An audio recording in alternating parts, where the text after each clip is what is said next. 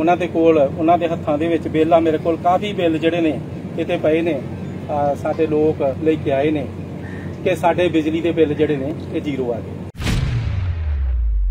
Aam Aadmi party ਨੇ ਕਿਸੇ ਚੀਜ਼ ਨੂੰ ਮੁੱਖ ਨਹੀਂ ਰੱਖਿਆ, ਸਿਰਫ ਆਪਣੇ ਲੋਕਾਂ ਦੇ ਨਾਲ ਕੀਤੇ ਵਾਅਦੇ ਨੂੰ ਮੁੱਖ ਰੱਖਦਿਆਂ ਹੋਇਆ ਪਹਿਲੇ ਹੀ 3 ਮਹੀਨਿਆਂ ਦੇ ਵਿੱਚ ਇਹ ਜਿਹੜੀ ਆ, ਇਹ ਵੱਡੀ ਗਰੰਟੀ ਪੂਰੀ ਕੀਤੀ ਆ। ਪੰਜਾਬ ਭਰ ਦੇ ਵਿੱਚ ਅੱਜ ਤੱਕ ਦੇ ਡਾਟੇ ਦੇ ਵਿੱਚ ਕੋਈ 24-25 ਲੱਖ ਬਿੱਲ ਜਿਹੜਾ ਜ਼ੀਰੋ ਆ ਚੁੱਕਾ ਹੈ 33 ਕੁ ਲੱਖ 34 ਲੱਖ ਇਹੋ ਜਿਹਾ ਜਿਨ੍ਹਾਂ ਨੂੰ ਜਿਹੜਾ ਉਹ 3 ਰੁਪਏ ਸਬਸਿਡੀ ਵਾਲੀ ਜਿਹੜਾ ਕੀਤੀ ਸੀਗੀ ਸਬਸਿਡੀ ਉਹਨੂੰ ਵੀ ਅਸੀਂ ਚਾਲੂ ਰੱਖਿਆ ਹੈ। ਉਹਦੇ ਵਾਸਤੇ ਕੋਈ 34 ਕੁ ਲੱਖ ਬੰਦਿਆਂ ਨੂੰ ਫਾਇਦਾ ਹੋਇਆ ਹੈ। ਆਉਣ ਵਾਲੇ ਸਮੇਂ ਦੇ ਵਿੱਚ, ਅਜੇ ਤੁਹਾਨੂੰ ਪਤਾ ਥੋੜੀ ਗਰਮੀ ਆ, ਆਉਣ ਵਾਲੇ ਸਮੇਂ ਦੇ ਵਿੱਚ, ਪੰਜਾਬ ਦੇ ਵਿੱਚ 85% ਲੋਕਾਂ ਦੇ ਬਿਜਲੀ ਦੇ ਬਿੱਲ ਜਿਹੜੇ ਆ ਉਹ ਜ਼ੀਰੋ। ਦੇਖੋ ਇਹਦੇ ਵਿੱਚ ਕਿਸੇ ਤਰ੍ਹਾਂ ਦਾ ਕੋਈ ਵਿਤਕਰਾ ਨਹੀਂ ਕੀਤਾ ਗਿਆ ਕਿਸੇ ਨਾਲ ਵੀ ਕੋਈ ਵਿਤਕਰਾ ਨਹੀਂ ਕੀਤਾ ਗਿਆ। 600 ਯੂਨਿਟ ਜਿਹੜਾ ਆ ਹਰ ਘਰ ਨੂੰ ਬਿਨਾਂ ਕਿਸੇ ਵਿਤਕਰੇ ਦੇ 2 ਪਰ ਮਹੀਨੇ ਕਿੰਨੇ ਕਿਲੋਵਾਟ ਤੱਕ ਗਏ 600 ਯੂਨਿਟ ਜੀ। ਕਿਲੋਵਾਟ ਦੀ ਕੋਈ ਲਿਮਟ ਕੋਈ ਲਿਮਿਟ ਨਹੀਂ। ਕੋਈ ਲਿਮਟ ਨਹੀਂ ਹੈ ਕਿਲੋਵਾਟ ਦੀ। ਕਿਲੋਵਾਟ ਦੀ ਕੋਈ ਲਿਮਟ ਨਹੀਂ। ਜਿਹਦਾ ਬਿੱਲ 599 ਜਾਂ 600 ਯੂਨਿਟ ਤੱਕ ਖਪਤਾ ਉਹਨਾਂ ਨੂੰ ਬਿਜਲੀ ਦਾ ਬਿੱਲ ਜ਼ੀਰੋ। ਦੱਸਣ ਦੇ ਵਿੱਚ ਖੁਸ਼ੀ ਮਹਿਸੂਸ ਹੋ ਰਹੀ ਆ ਕਿ ਵਾਅਦਾ ਪਹਿਲੇ 3 ਮਹੀਨਿਆਂ ਦੇ ਵਿੱਚ ਹੀ 1 ਜੁਲਾਈ 2022 ਤੋਂ ਜਿਹੜਾ ਉਹ ਪੂਰਾ ਕਰ ਦਿੱਤਾ ਗਿਆ।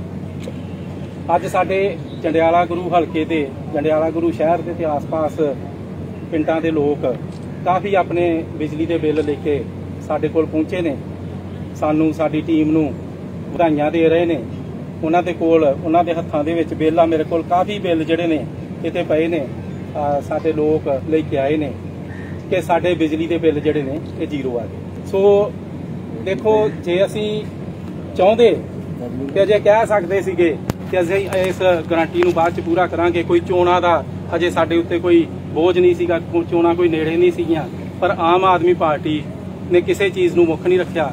ਸਿਰਫ ਆਪਣੇ ਲੋਕਾਂ ਦੇ ਨਾਲ ਕੀਤੇ ਵਾਅਦੇ ਨੂੰ ਮੁੱਖ ਰੱਖਦੇ ਹੋਇਆ ਪਹਿਲੇ ਹੀ 3 ਮਹੀਨਿਆਂ ਦੇ ਵਿੱਚ ਇਹ ਜਿਹੜੀ ਆ, ਇਹ ਵੱਡੀ ਗਰੰਟੀ ਪੂਰੀ ਕੀਤੀ ਆ ਤੇ ਪੰਜਾਬ ਭਰ ਦੇ ਵਿੱਚ ਅੱਜ ਤੱਕ ਦੇ ਡਾਟੇ ਦੇ ਵਿੱਚ ਕੋਈ 24-25 ਲੱਖ ਬਿੱਲ ਜਿਹੜਾ ਜ਼ੀਰੋ ਆ ਚੁੱਕਾ ਹੈ 33 ਕੁ ਲੱਖ 34 ਲੱਖ ਇਹੋ ਜਿਹਾ ਜਿਨ੍ਹਾਂ ਨੂੰ ਜਿਹੜਾ ਉਹ 3 ਰੁਪਏ ਸਬਸਿਡੀ ਵਾਲੀ ਜਿਹੜਾ ਕੀਤੀ ਸੀਗੀ ਸਬਸਿਡੀ ਉਹਨੂੰ ਵੀ ਅਸੀਂ ਚਾਲੂ ਰੱਖਿਆ ਹੈ। ਉਹਦੇ ਵਾਸਤੇ ਕੋਈ 34 ਕੁ ਲੱਖ ਬੰਦਿਆਂ ਨੂੰ ਫਾਇਦਾ ਹੋਇਆ ਹੈ। ਆਉਣ ਵਾਲੇ ਸਮੇਂ ਦੇ ਵਿੱਚ ਅਜੇ ਤੁਹਾਨੂੰ ਪਤਾ ਥੋੜੀ ਗਰਮੀ ਆ ਆਉਣ ਵਾਲੇ ਸਮੇਂ ਦੇ ਵਿੱਚ ਪੰਜਾਬ ਦੇ ਵਿੱਚ 85% ਲੋਕਾਂ ਦੇ ਬਿਜਲੀ ਦੇ ਬਿੱਲ ਜਿਹੜੇ ਆ ਉਹ ਜ਼ੀਰੋ ਇਹਦੇ ਵਿੱਚ ਜਨਰਲ ਕੈਟਾਗਰੀ ਵੀ ਵਿੱਚ ਹੋਏਗੀ ਸਾਰੇ ਦੇਖੋ ਦੇਖੋ ਇਹਦੇ ਵਿੱਚ ਕਿਸੇ ਤਰ੍ਹਾਂ ਦਾ ਕੋਈ ਵਿਤਕਰਾ ਨਹੀਂ ਕੀਤਾ ਗਿਆ ਕਿਸੇ ਨਾਲ ਵੀ ਕੋਈ ਵਿਤਕਰਾ ਨਹੀਂ। ਕੀਤਾ ਗਿਆ। 600 ਯੂਨਿਟ ਜਿਹੜਾ ਆ ਹਰ ਘਰ ਨੂੰ ਬਿਨਾਂ ਕਿਸੇ ਵਿਤਕਰੇ ਦੇ 2 ਪਰ ਮਹੀਨੇ ਜੇਕਰ ਅਸੀਂ ਸੀਐਮ ਸਾਹਿਬ ਦੇ ਬਿਆਨ ਵੇਖੀਏ ਤਾਂ ਉਹਨਾਂ ਨੇ ਇਹ ਬੜੇ ਰੈਲੀਆਂ ਦੇ ਵਿੱਚ ਵੀ ਕਿਹਾ ਬਾਬਾ ਬਕਾਲੇ 'ਚ ਵੀ ਕਿਹਾ ਸੀ ਕਿ 50 ਲੱਖ ਦੇ ਕਰੀਬ ਜਿਹੜੇ ਜ਼ੀਰੋ ਬਿੱਲ ਆਉਣਗੇ ਉਹਦੇ ਵਿੱਚ ਮਤਲਬ ਫ਼ਰਕ ਕਿਉਂ ਆ? 50 ਲੱਖ ਨਹੀਂ ਬਿਲ- ਬਿਲਕੁਲ ਆਉਣਗੇ ਜੀ। ਦੇਖੋ ਤੁਹਾਨੂੰ ਮੈਂ ਦੱਸਿਆ ਆ ਕਿ ਜਿਹੜਾ ਇਸ ਵੇਲੇ ਬਿਜਲੀ ਦੇ ਬਿੱਲ ਜਿਹੜੇ ਨੇ ਇਹ ਇੱਕ ਦਿਨ ਕੋਈ ਸਰਕੂਲ ਸਾਰੇ ਬਿੱਲ ਜਨਰੇਟ ਨਹੀਂ ਹੁੰਦੇ। ਰੋਜ਼ ਦੇ ਰੋਜ਼ ਬਿਲਿੰਗ ਕੋਈ ਸਾਈਕਲ ਆ।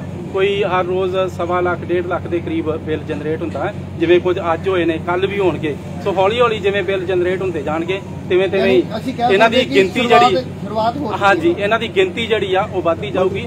ਔਰ ਮੈਂ ਤੁਹਾਨੂੰ ਦੱਸਿਆ ਹੈ ਕਿ ਲਗਭਗ 85% ਲੋਕਾਂ ਦੇ ਬਿੱਲ ਪੰਜਾਬ ਦੇ ਵਿੱਚ ਘਰੇਲੂ ਬਿੱਲ ਜਿਹੜੇ ਆ ਉਹ ਜ਼ੀਰੋ ਜਦੋਂ ਦੇ ਤੁਸੀਂ ਇਸ ਦੇ ਬਾਰੇ। ਕਿੰਨੇ ਕਿਲੋਵਾਟ ਤੱਕ ਗਏ 600 ਯੂਨਿਟ ਜੀ। ਕਿਲੋਵਾਟ ਦੀ ਕੋਈ ਲਿਮਟ ਕੋਈ ਲਿਮਿਟ ਨਹੀਂ। ਕੋਈ ਲਿਮਟ ਨਹੀਂ ਹੈ ਕਿਲੋਵਾਟ ਦੀ ਕਿਲੋਵਾਟ ਦੀ ਕੋਈ ਲਿਮਟ ਨਹੀਂ। ਜਿਹਦਾ ਬਿੱਲ 599 ਜਾਂ 600 ਯੂਨਿਟ ਤੱਕ ਖਪਤਾ ਉਹਨਾਂ ਨੂੰ ਬਿਜਲੀ ਦਾ ਬਿੱਲ ਜ਼ੀਰੋ ਜਿਨ੍ਹਾਂ ਦਾ 602 ਆਵੇ ਜਾਂ 600 ਜਾਂ ਉਹ ਉਹ ਫਿਰ ਦੇਖੋ ਜਿਹੜੇ ਜ਼ਿਆਦਾ ਬਿਜਲੀ ਬਾਲਦੇ ਨੇ ਤੁਹਾਨੂੰ ਪਤਾ ਉਹ ਵੀ ਥੋੜਾ ਜਿਹਾ ਸਿਸਟਮ ਫਿਰ ਉਹ ਪੇ ਵੀ ਕਰ ਸਕਦੇ ਨੇ। ਇਸ ਕਰਕੇ ਉਸ ਤੋਂ ਬਾਅਦ ਬਿੱਲ ਲੱਗਦਾ ਤਾਂ ਕਰਕੇ ਉਹ ਬਹੁਤ ਘੱਟ ਤਾਦਾਦ ਆ। 85% ਲੋਕ ਜਿਹੜੇ ਨੇ ਉਹਨਾਂ ਦੇ ਬਿੱਲ ਬਿਜਲੀ ਦੇ ਜ਼ੀਰੋ। ਮੰਤਰੀ ਸਾਹਿਬ ਜਿਹੜਾ ਆਏ ਵੀ ਨੇ ਮੰਤਰੀ ਸਾਹਿਬ ਕਈ ਲੋਕਾਂ ਦੇ ਬਿੱਲ ਆਏ ਨੇ ਉਹ ਸੋਸ਼ਲ ਮੀਡੀਆ ਤੇ ਵੀ ਕਹਿ ਰਹੇ ਨੇ ਕਿ ਸਾਡੇ ਬਿੱਲ ਨਹੀਂ ਹੋਏ। ਇਹ ਸਭ ਹਲੇ ਜਿਹੜਾ ਕਹਿ ਸਕਦੇ ਕਈ ਲੋਕਾਂ ਦੇ ਤੇ ਹੋ ਗਏ ਪਰ ਸਾਡੇ ਨਹੀਂ ਹੋਏ। ਖੁੱਲ ਕੇ ਨਹੀਂ ਸਾਹਮਣੇ ਆ ਰਹੀ। ਲੇਕਿਨ ਸੋਸ਼ਲ ਮੀਡੀਆ ਤੇ ਕਾਫੀ ਗੱਲਾਂ ਸਾਹਮਣੇ ਆਈਆਂ। ਜਦੋਂ ਵੀ ਕੋਈ ਚੀਜ਼ ਦੀ ਟਰਾਂਸਫਾਰਮੇਸ਼ਨ ਹੁੰਦੀ ਹੈ ਚੇਂਜਸ ਹੁੰਦੀਆਂ ਨੇ ਨਾ ਥੋੜਾ ਥੋੜਾ ਸਮਾਂ ਲੱਗਦਾ ਹੌਲੀ ਹੌਲੀ ਸਾਰਾ ਕੁਝ ਸੈਟਲ ਹੋ ਜਾਊਗਾ।